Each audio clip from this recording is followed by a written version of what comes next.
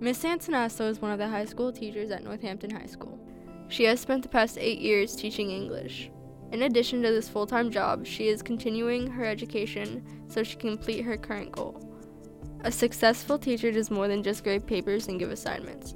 Teachers like Miss Antanasto make learning enjoyable and exciting by working hard to include their students in fun activities and ensure that they understand what they are learning. You know, every student's different, so I think it's taught me to.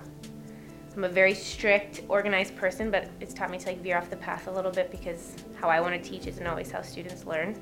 Although Miss Antanasto's first impression was a bit intimidating, she proved to exhibit the correct amount of intimidation to avoid being walked over by her students. It takes a special person to make an impact on a student's life while handling all of the requirements that come with being a teacher. Becoming a teacher means that you must first obtain a bachelor's degree in education, which normally takes four years of college. At Northampton High School, where Miss Antanasto teaches, the average class is about 20 students. A teacher could have up to eight periods of classes per day.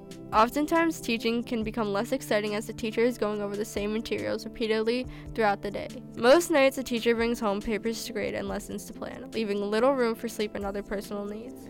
I guess as a student, I never realized how much work teachers put into things. You know, I kind of just thought they came in and did their thing. There wasn't, you know, hours of grading at home or hours planning outside of school or meeting with other teachers. I- On the flip side, being a teacher can also bring great rewards.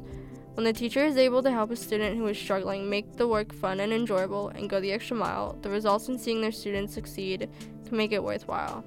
It is good to have the memory of a teacher that you can always carry with you. Miss Antanasto is this kind of teacher. For myself, Miss Antanasto sets the standard for any teacher. She has left an impression with me that I will never forget in my high school years.